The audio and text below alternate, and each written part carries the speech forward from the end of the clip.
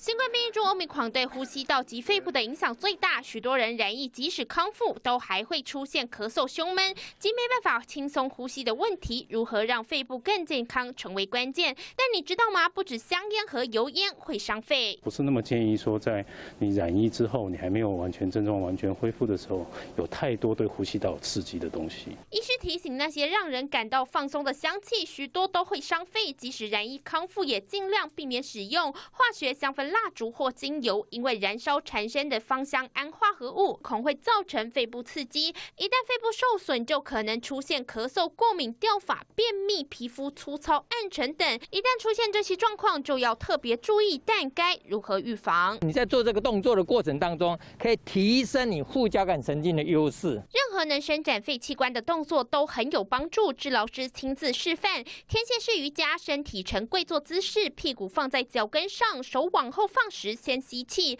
呼气时身体再往前弯，可以训练横膈肌。另外，深层有感呼吸，让氧气接触到下肺叶，全身的气体交换，有助于提升肺活量。喜欢运动的民众也可以尝试健走、慢跑或太极。不要一下子就说哦，我染疫了，我赶快要好，所以我尽量运动，你会让自己的状况更糟糕。医师也提醒，染疫后肺部受损，太过激烈的运动，身体可能无法负荷，可以透过手部的鱼际穴舒缓咳嗽、气喘或。内关穴改善胸闷心悸，但不论是运动或者是按摩穴道，都要花时间，每天练习，持之以恒，才能达到强健肺部的效果。记者谢红如、陈嘉伦台北采访报道。热情绽放的凤凰花，火红的饱和色，在蓝天白云的映衬下更显娇艳。在盛开的凤凰花下，还有两台列车交错呼啸而过。去年有来拍过，就是要耐心等。他哪边过来的？我从桃园过来。狂野的橘红配上一般般火车，这画面美的就像一张明信片，充满诗意。看在铁道迷的眼里，更是难得。我来这里都两个多小时，有时候有时候捕捉到七千车啊、自强啊，都是单台的。要两台的很少。苗栗造桥的朝阳路上，五六棵高大的凤凰木顺着蜿蜒的铁道而生。平日看起来没什么特别，但到了每年的五六月，凤凰花盛开，就成了夏日的限定美景。这棵树大概上个礼拜才开两层，我今天来看，大概应该开四五层了。今年的雨水多，凤凰花还没有全数盛开，但已经吸引不少摄影玩家来赏花追火车。而台中的福寿山在阴天还是可以拍出绝美景致。德基水库是台湾海拔最高的一个水库。山势之美在空拍画面下一览无遗，山峦的绿从浅到深渐层反射在德基水库的水面上，松软的白云时而飘散，时而聚集成海，大自然秀丽的美景让人心旷神怡。这里面登景城来根据小组台中苗栗采访报道。卤到快要变成胶状的肉燥在巷弄飘香，这锅已经传承到第三代的肉燥饭，老板创新菜单，把普通肉燥饭华丽变身。铺上一颗颗饱满鲜颗，已经让人老脆挪，但这样还不够。老板加码，一边铺上鲑鱼软，一边铺上虾软，超澎湃的海鲜肉燥饭，让民众就算冒着大雨也要来排队。第一次吃是新鲜呐，嗯第二次就觉得还想再吃，那加瓦沙比超赞的啦。我海鲜控。哦，哪里有海鲜我就想要去哪里吃。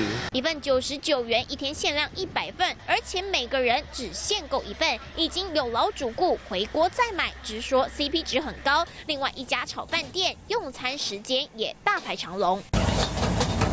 大火快炒小卷铺在炒饭上，五只小卷摆到满出来，隐藏版小卷炒饭变成必点的明星菜单。食材很丰富啊，而且很新鲜啊，料很多，然后看起来很好吃。小卷炒饭虽然没有季节限定，但限量提供一天一百份，短短一个半小时卖光光。超抢手的小卷炒饭跟这一碗海陆结合的海鲜肉燥饭，让店家意外爆红，成为必吃美食。九高雄、台南做不到。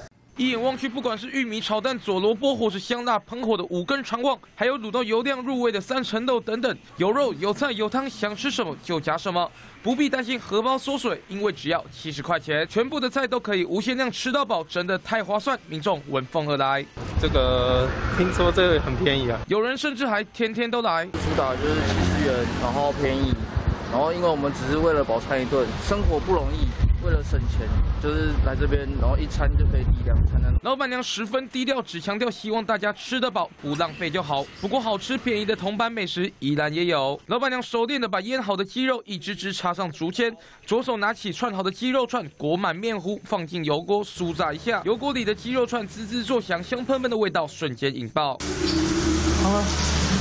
被炸得金黄酥脆的鸡肉串起锅，大口咬下，里头热腾腾的香气散发出来，一只只卖十块，十块而已，很大一串。这间呢，依然小有名气的鸡肉串店，主打就是便宜到不可思议的十块钱鸡肉串，不少在地人都冲着超高 CP 值而来。好吃啊，然后价格很便宜。在这个万物齐涨的年代，不管是十块钱的鸡肉串，或是平民版的自助 buffet，只要有心去找，铜板价也可以吃到美食。记者刘志展、林依晨、张浩综合报道。珍珠奶茶大口大口吸进嘴里，夏天到了，来一杯真奶饮料最消暑，但小心含糖饮料喝太多可能会失智。适量就好啊，人生苦短，稍微犒赏一下自己应该不为过吧。不要以为一天一杯就没事。根据卫福部的建议，每人每天的含糖摄取量最好应该低于五十克。但是，一杯全糖的真奶含糖量就有六十二克，直接超过。含糖饮料喝太多可能会降低脑容量跟记忆力，进而引发失智。含糖饮料要少喝，听音乐也要注意。像是这样可以听到耳机内的声音，你的音乐已经变成噪音，不只会损害听力，也会影响大脑，失智的风险会翻倍。坐太久也不行，不管是工作或是休息，超过六个小时的久坐，脑部的灰质就会减少，大脑更容易萎缩及退化。另外，习惯性的负面思考、睡眠不足也会影响到脑神经。这些看似平凡的生活习惯，如果不加以改善，都可能提高失智症的风险。这两天在锦城台中采访报道。